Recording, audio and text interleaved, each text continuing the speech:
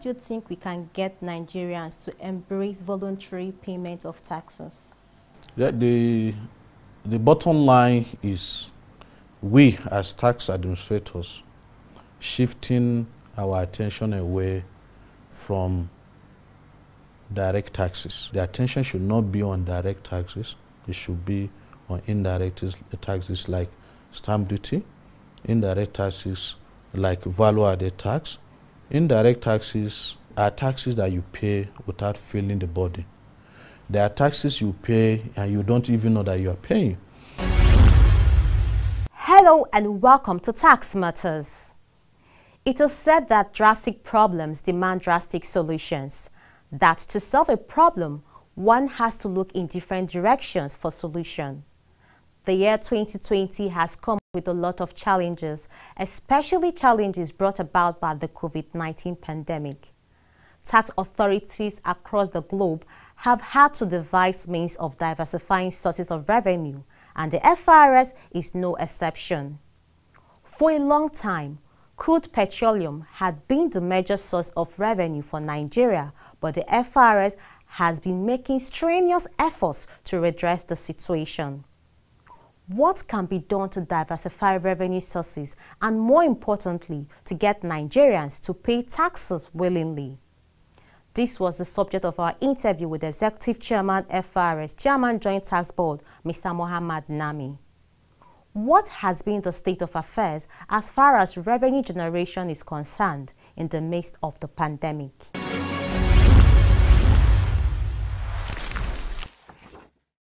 The job of any revenue agency is to assess, collect and account for taxes. So we have with us the Executive Chairman, Federal Inland Revenue Service, Mr. Muhammad Nami, and we are here to discuss the collection performance of the service. Mr. Chairman, welcome to Tax Matters. Thank you for having me, Amaka. Yes, sir. Sir, please, could you share with us the collection performance of the service in the period January to July 2020? Are you on course?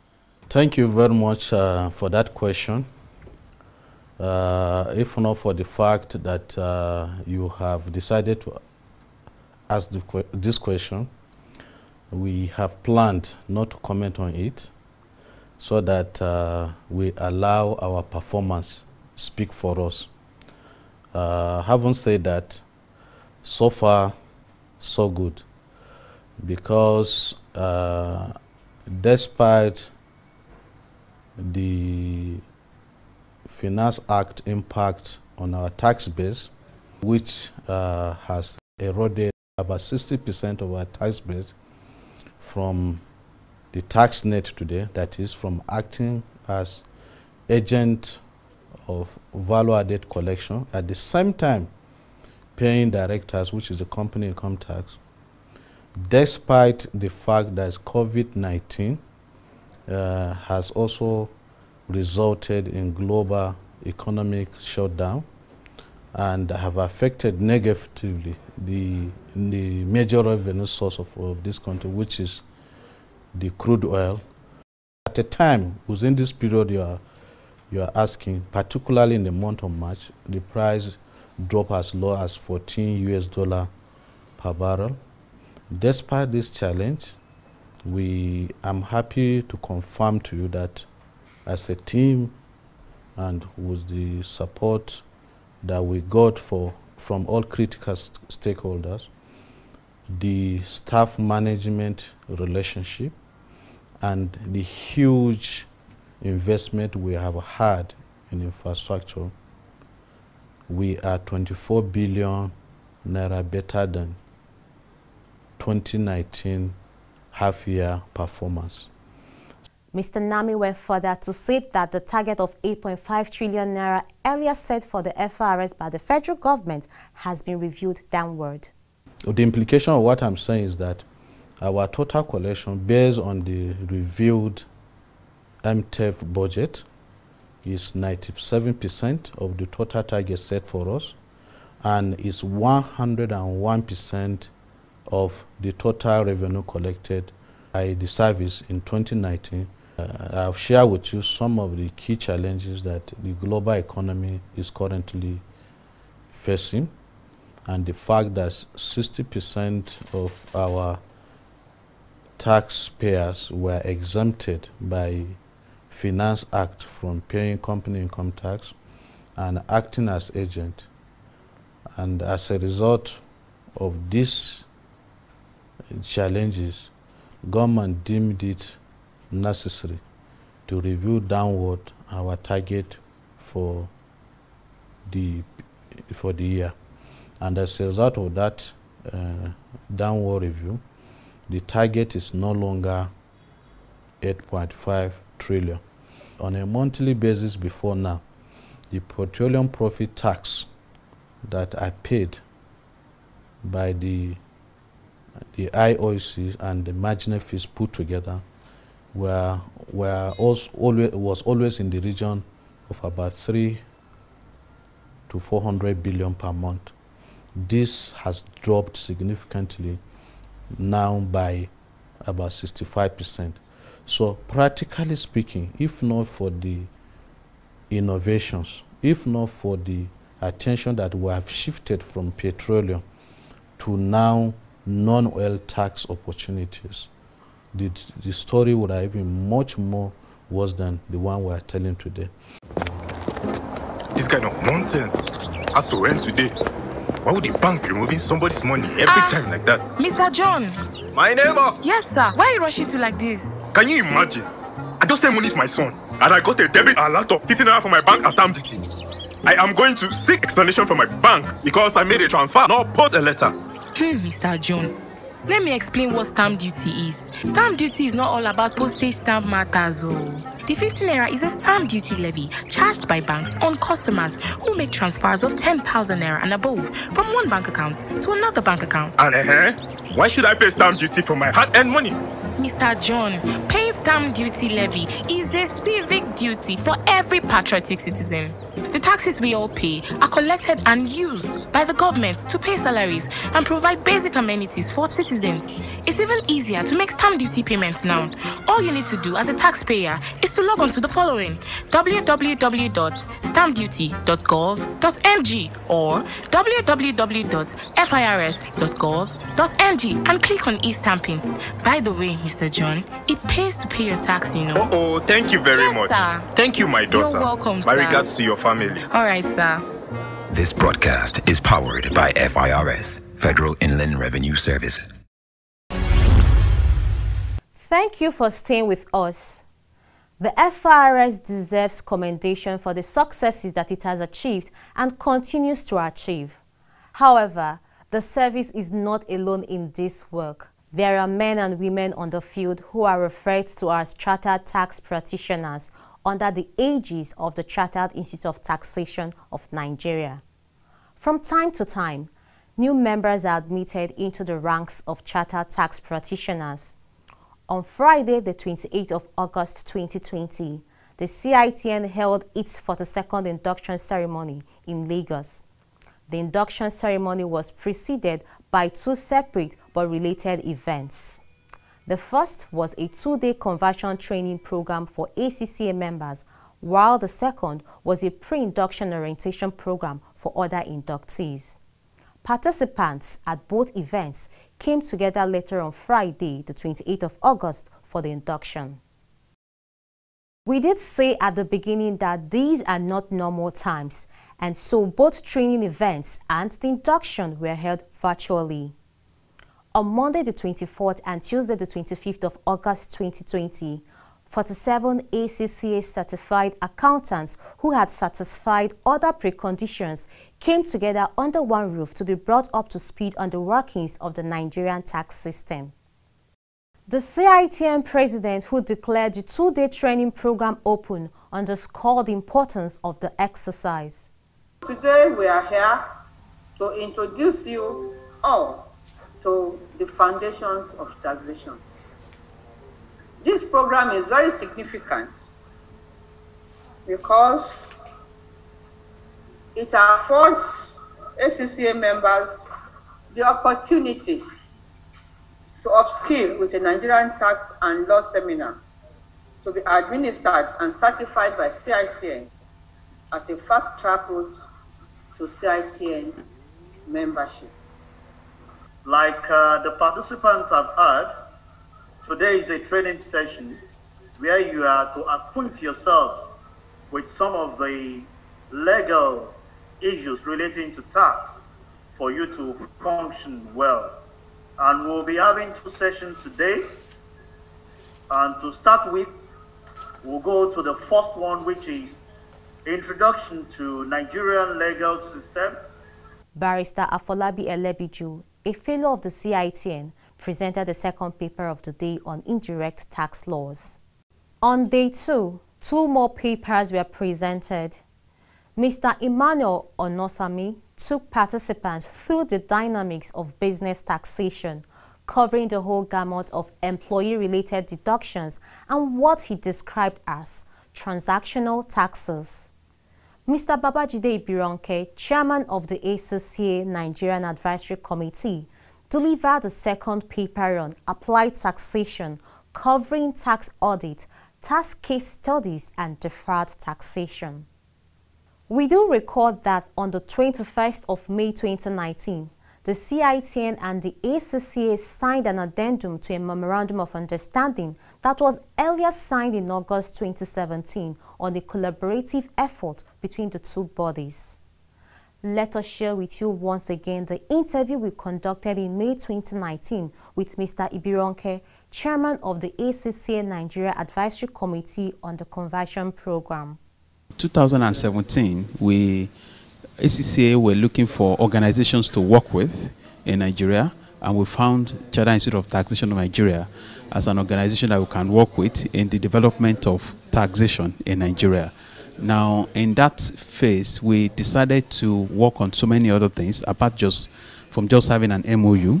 We decided to have an MOU that would mean that both our members will participate in joint sessions together our members who are interested in becoming CITN members will be benefiting, and CITN members who also want to be our members will also be benefiting from the MOU.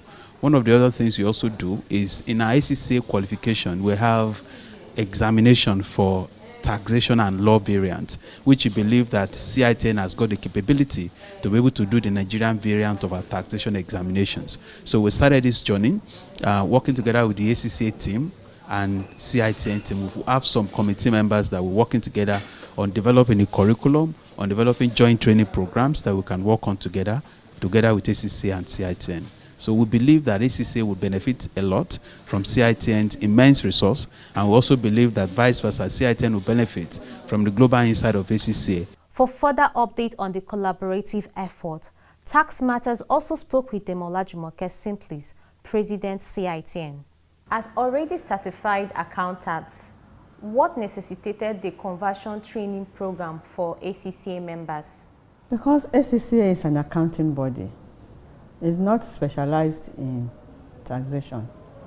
They were, during the courses that committed into the certification of being an ACCA, they must have done some taxation. But that taxation they have done it's not Nigerian taxation. You know, ACCA is not ICAN. Even ICAN does not have the in-depth training in taxation. So it's important for them to have our conversion so that they know the laws in Nigeria, the laws of taxation, the revenue law, and our legal system. You know, a lot of Nigerians are members of ACCA, quite a lot. So if we do not allow them to come in as members of CITN, we will it putting them at a disadvantage. So we came to that agreement that they will be doing conversion. It's a conversion course that they have done. Just for them to know the content of the Nigerian tax laws, the revenue law, and the legal system. It's very important for them to do that. What conditions did these ACCA members have to fulfill? First of all, they are qualified accountants.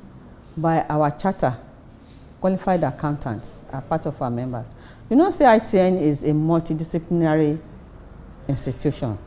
We have lawyers with us, we have accountants, we have economists, we have public finance experts, you know. So ACCA has already inducted them as accountants. By our charter, we can have them as our members. And for them to fully qualify as our members, they have to do the conversion. They must do the training. They must be present at the training. They must be present at the training. That is very, if you, if you miss one, you have to start all over again because it's very important. They have to also go into the nitty gritty of the practice of taxation in Nigeria, corporate laws and all that, inclu including tax cases, practical cases of tax laws, tax appeal tribunals, how it operates and all that. Okay, ma. Now, is there anything in the MOU or the agreement between CITN and ACCA that confers reciprocal benefits on CITN members? Oh, yes. For our members who are, who are accountants, who probably are not ICAN member and ACCA member, but they are not, that means that you just have a BSc accounting, you just have HND accounting, and you are a member. Now, ACCA will exempt you. That, that is the only condition. They will exempt you from some accounting subjects in their diets they will exempt you from for such. Then you will do their own, like our own conversion exam, you will do their own conversion exams to, to become their member.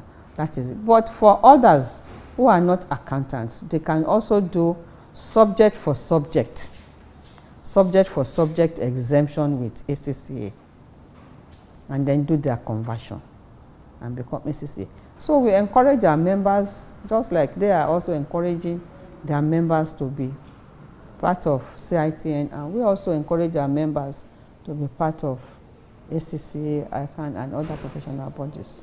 From Wednesday the 26th to Thursday the 27th of August 2020, other prospective inductees participated in the mandatory pre-induction orientation program. At the 42nd induction, a total of 582 men and women were enrolled into the hallowed ranks of chartered tax practitioners in Nigeria. Special guest of honor at the event, Dr. Timothy Oshuolale Olawale, Director General of NECA, began his keynote address by acknowledging the preeminent position of the CITN in tax matters. We have no doubt that the Institute and its members sustain guidance to taxpayers, as many of us in the public and business space rely on opinion from the Institute as the authentic professional tax management and administration. We also sustain your guidance to tax authorities because many a times in our interaction with tax authorities as voice of business, both at the national level through FIRS and in the different states. We also discover that they always rely on opinion of CITN. So we hope your robust guidance, taxpayers, tax authorities, and government on appropriate steps that should be taken as issues unfold be sustain. Dr. Olawale made some recommendations. It's my considered opinion that the country should not be indebted to such huge amount of money due to borrowing from local and foreign sources if a tax administration, both at the national, state, and local government, is sound because there is enough resources that can be garnered through taxation, especially if we widen the tax net. I also want to say that widening the tax net is a veritable option that government must explore, rather than burdening the compliant taxpayers with more taxes and levies. It's tantamount to punishing compliant. Dame Olajumoke Simplis, President CITN seized the occasion to commend tax authorities at federal and state levels for the palliative measures introduced in the wake of the pandemic to ameliorate the discomfort of taxpayers. Tax authorities at the federal and state levels have been responsive in handling this situation, resulting in the initiation of measures towards mitigating the effects on taxpayers. These measures range from extending the period for filing tax returns, waivers of penalties, extension of the period for due tax payments, tax waivers for small business, and so on. They simply charge the about to be inducted men and women with these words. Wherever you are, put your searchlight on CITN activities. Wherever you are, let your impact be felt as a member of CITN. Wherever you are, promote the ethics, the codes of conduct of CITN. Wherever you are, put us on the globe. And then the climax. The 14th president of CITN, I hereby present to you a total of 582 candidates. 47 of them are members of ACCA who have gone through the conversion program on Monday, from Monday 24th to Tuesday 25th of August 2020. 88 of them are graduates under uh, professional examination, while the rest 447 are members of ICANN members of ANAN, and uh, graduates of the JTB Final Inspector of Taxes in, in Taxation. In addition, all the candidates except the graduates have gone through the pre-induction orientation program for two days. The program ended yesterday. They are all qualified to be members of our great institute. In accordance with our Institute's Charter, CITN Act, Cap C10, Volume 2, Laws of the Federation of Nigeria, 2004, I hereby present them to you to be admitted as associates of the Institute. I do solemnly declare and swear that I shall always comply with the provisions of the Institute's charter. So help me God. Now we want to recognize the outstanding students in the October 2019 Institute examination. See, this is an institute that appreciates excellence and we celebrate excellence. Some of the inductees who qualified by examination and came tops were specially recognized and given awards. I have 12 distinguished students who are being inducted today as uh, winners of our professional examination prizes. The matter of indirect taxes vis-a-vis -vis direct taxes as espoused by the Executive Chairman FIRS in the interview at the beginning of this episode resonated at the induction with Mr. Gambo Issa winning a prize in indirect taxation. The best student in indirect taxation and the winner is Gambo Issa Star of the award segment of the event was Onyodi Ichoma Benedicta, who carted away four prizes. Here is congratulating the award winners and all the new inductees at large. We want to thank you most sincerely for watching. Remember, in this business of tax compliance, do not attempt to navigate the field by yourself avail yourself of the services of qualified and duly registered tax practitioners. You have a whole lot of them, including these new ones at your beck and call. See you next week.